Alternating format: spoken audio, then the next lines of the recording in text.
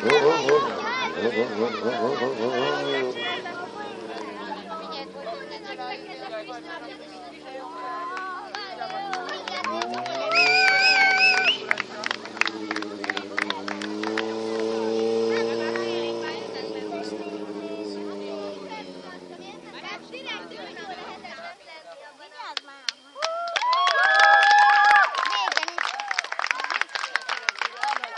megint a motorokat. Köszönjük meg a srácoknak, és egy apró ajándékkal kedveskednek nekünk.